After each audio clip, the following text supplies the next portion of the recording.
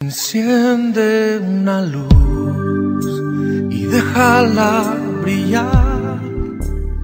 La segunda carta a los Corintios en el capítulo 3 versículos 16 al 18 dice, pero cuando se conviertan al Señor, el velo se quitará porque el Señor es el Espíritu y donde está el Espíritu del Señor, allí hay libertad.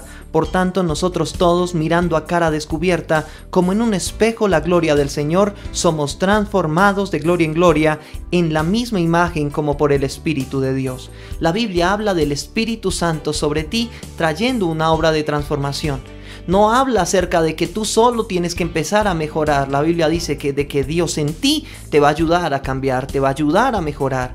La Biblia no dice que tú estás en el camino más solo, sino que Él está contigo. De que ahora ya no vives tú, sino que Cristo vive en ti. De ahora en adelante tú vives con Él. Y si tú vives con Él, todo lo que tú hagas lo refleja Él. Y como Él se va a ver reflejado en ti, Él también te va a ayudar para que tú seas diferente. Todos tus defectos se van a hacer más pequeños hasta que tras día te parezcas más a aquel que te creó. Enciende una luz